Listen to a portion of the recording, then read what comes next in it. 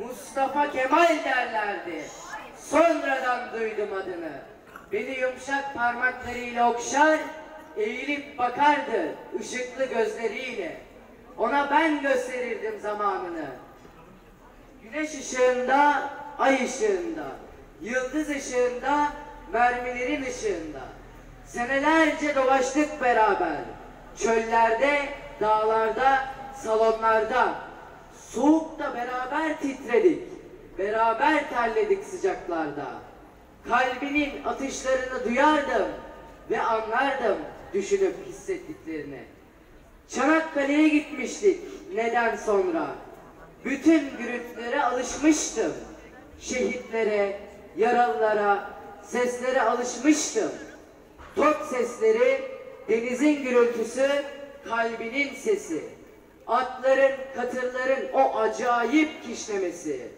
Hilal bıyıklı kahramanlar, kanla sulanan toprak, göklere uçan gövde bacak.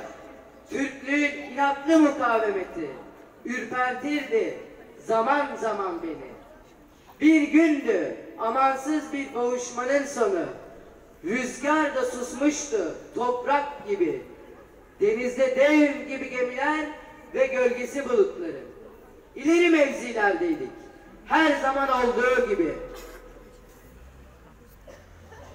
Gözleri ufuklardaydı, eli düşüncesinde, düşüncelerin en incesinde. Kalbinin atışlarını dinliyorum. Zaman endişeliydi. Rüzgar durmuştu. Bir top patladı uzaklardan. Bir şarapnel geliyordu bize doğru. Saliselerine varıncaya kadar hızının hesapladım. Hesapladım da önüne koyuverdim kendimi.